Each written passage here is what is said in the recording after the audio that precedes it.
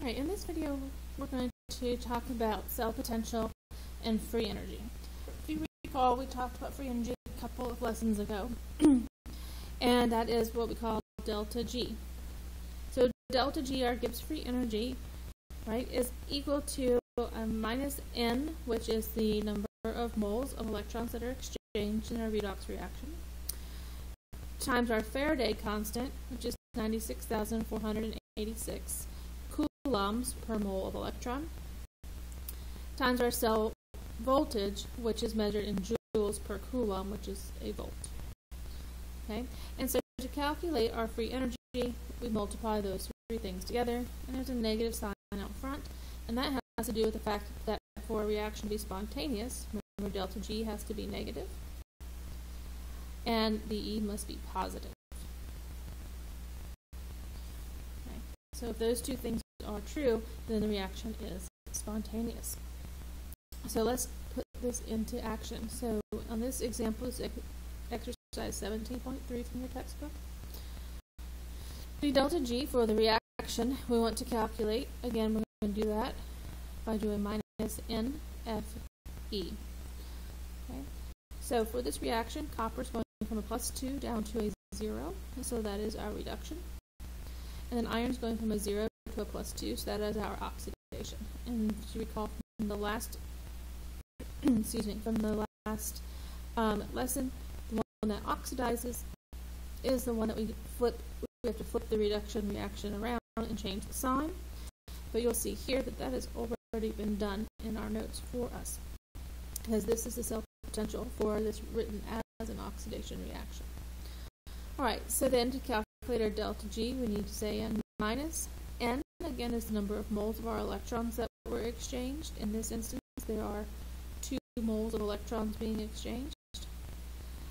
Times our Faraday's constant, which is 96,486, times our cell potential. And to get the cell potential, we just add these two together. And so we get 0.78. And so then when we multiply those together, we calculate our delta G, and we find that that value is a negative 1.5 times 10 to the fifth joules.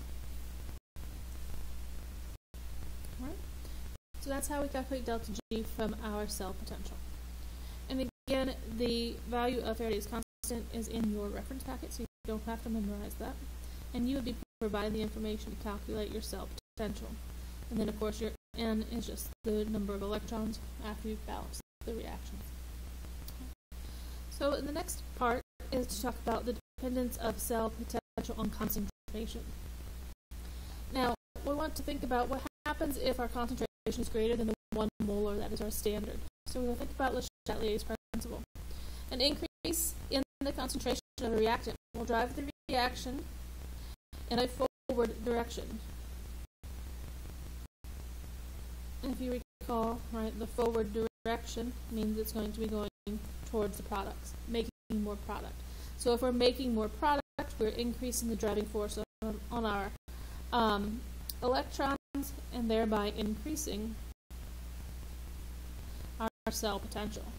So if the change in concentration makes the reaction shift to the right towards products, then the cell potential would increase and you'd have a greater electromotive force. However, the change in the concentration force the reaction to shift to the left, that would mean that we would have a decreasing cell potential. So if we take our problem up above here, we had our copper plus 2, which was an aqueous, and our iron solid, going to our copper solid, and our iron plus 2 as an aqueous solution. So standard condition says that they're all at one mole, all of our solutions are at one molar. But if the copper were, say at two molar, that would be an increase, right? So we're increasing the concentration of the copper ions, which would shift the reaction to the right, and thereby increasing the value of E. However, if we made the concentration of copper 0.5 molar, that's a decrease from 1, and so that would shift the reaction to the left, decreasing the cell potential. Okay? We'll look at that some more in a lab activity we're going to do later in the week. Alright, so the final piece of this unit is talking about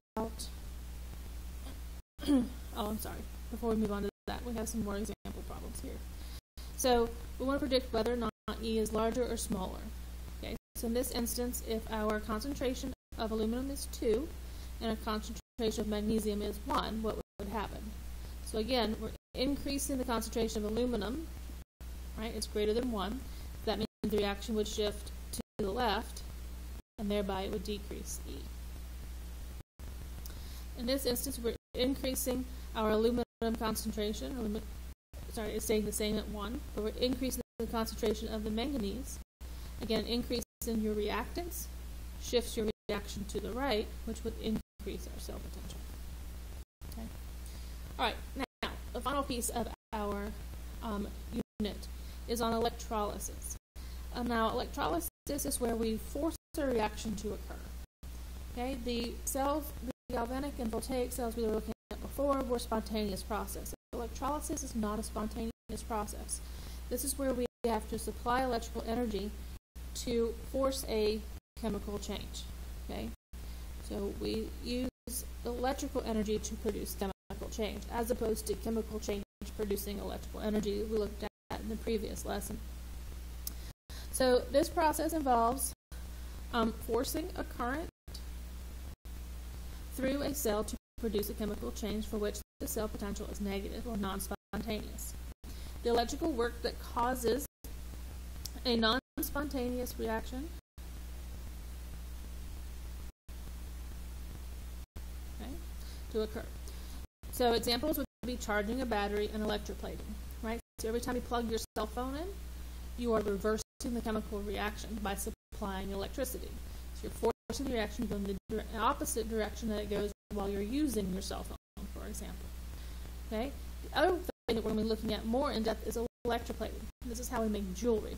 So they force the reaction to um, go in the non-spontaneous direction, thereby allowing for the um, solid that you want to deposit on the jewelry, such as gold or silver.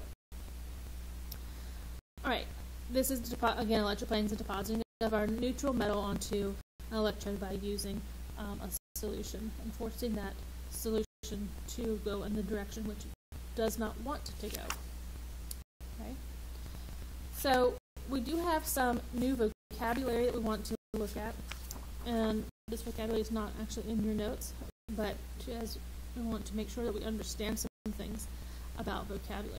So a coulomb is a charge transported by a steady current of 1 amp in 1 second. So again, a coulomb is 1 amp per second. Okay, now an amp is a measure of electrical current, and that is equal to 1 coulomb per second. So an amp is 1 coulomb per second. If there are 10 amps of current, it can also be expressed as 10 coulombs per second. That's important in the problems that we're going to be looking at here in a moment. Okay.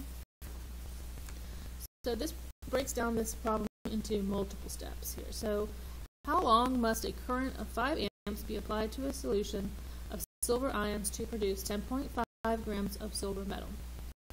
So our first step is to start with our grams of silver metal, convert those to moles. Right? So if I have 10.5 grams of silver, I convert it to moles. So 1 mole of silver is 107.9 grams. And so then we calculate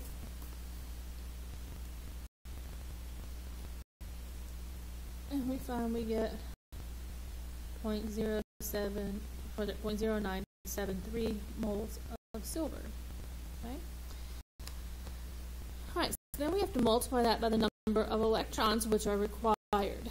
Right, so how many electrons are required to turn silver plus 1 into silver solid, which has zero charge? Right, so just one electron. So this would be our 0.0973 moles of silver, and for every mole of silver, that requires one electron. Right? Then we want to convert our coulombs per mole, and we're going to use Faraday's constant to do that. So if you recall Faraday's constant from our previous notes a couple pages back, right, told us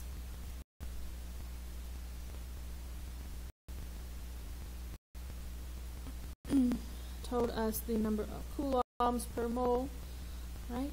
So we want to convert two, we have 0.0973 moles now of electrons, and convert that, what every one mole of electrons, right, has 96,485 coulombs. Right? So then we multiply that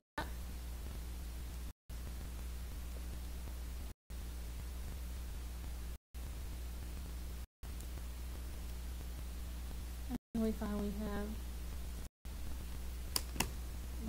9,388 coulombs. Okay? Then we multiply by the amps, which is a coulomb per second, right? So we have 9,388 uh, oops, 88 coulombs, right? And so our amps, remember, this is the same as a coulomb per second, right? That means we have 5 coulombs for every 1 second, and that should say divide to get to time. Right, so our coulombs would cancel, and we would divide and get our time, which is 1,878 seconds. Okay.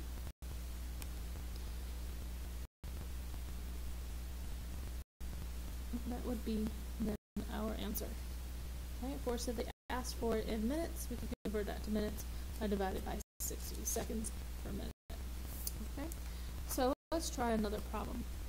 Here, you try, and then come back and we'll look at it together. So pause the video, and you try, and then return when you're finished.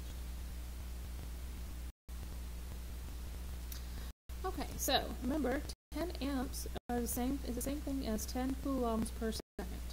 Now this breaks this down into multiple steps. But we can do this as one long problem. So I'm going to do that down here and just follow my steps. So we start with our um, 10 coulombs per second. Now I can get rid of seconds by multiplying by my time, right, which is 30 minutes. Hmm, but how many seconds is that? Right, so, right, 30 minutes, we get to seconds, we multiply by 60 seconds per minute, right? So that would be 100 1800 seconds. So our seconds would cancel, right? That leaves us with coulombs, right?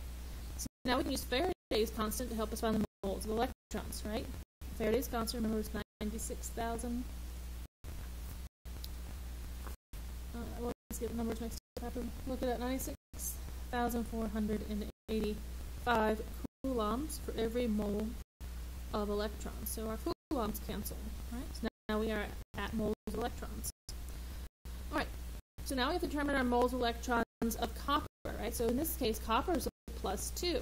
So how many electrons do we need to get the copper 0? Right, we would have to have 2 electrons for every mole of copper, right?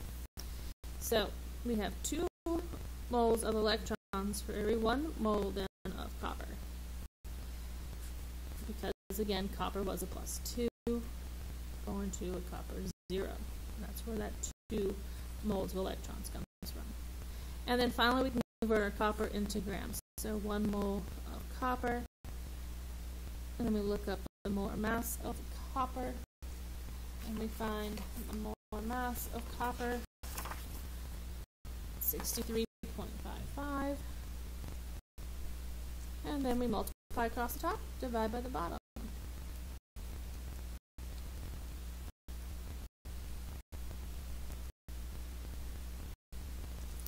and we find the answer to be 5.94 grams that we got here at the bottom.